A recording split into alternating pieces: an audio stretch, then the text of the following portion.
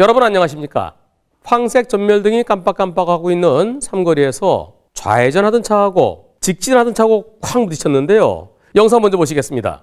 자, 비보호 표지판이 있습니다. 그런데 신호등은 황색 전멸등이고요. 왼쪽에 차 한 대 나오고 그 차 보내고 천천히 들어가는데 달려오는 차랑 쾅! 네. 이런 사고. 과실비는 몇대 몇일까요? 이번 사고에 대해서 보험사는 불박차는 그냥 좌회전이 아니고 비보호 좌회전이다. 상대편은 직진이다.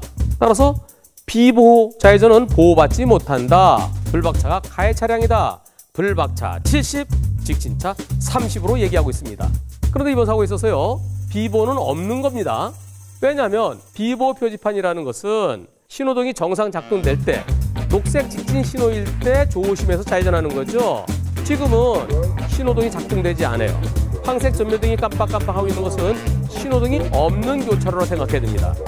신호등이 없는 교차로에서 몇 가지 기준이 있죠. 직진대 좌회전일 때는 직진이 우선이에요. 넓은 도로와 좁은 도로면 넓은 도로차가 우선이죠. 근데 또 하나가 있습니다. 선진입. 먼저 진입한 차에게 우선권이 있는 거죠. 불박차가 먼저 천천히 좌회전해서 들어가고 있는데 그때 저 멀리서 오던 차가 그냥 쌩 하고 달려왔어요. 상대차가 서행하지 않았기 때문에 그냥 꽝이죠. 불박차는 서행했고요. 또 불박차는 선진입이에요. 불박차가 피해 차량이 되는 것이 맞습니다.